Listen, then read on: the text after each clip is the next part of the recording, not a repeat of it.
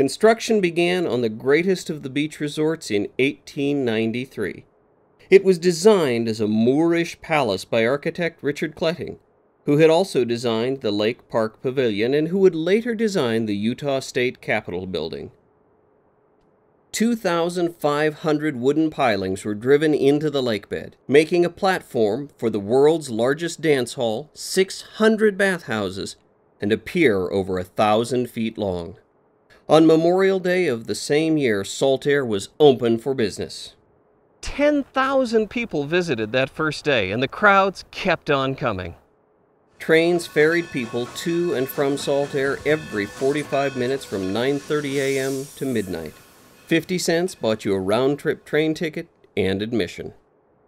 Swimming was very popular, despite the fact that the salt could irritate the skin, nose, and eyes, and diving into the dense water could really hurt. Later, when the sun went down, Saltair lit up, and it was time for dancing.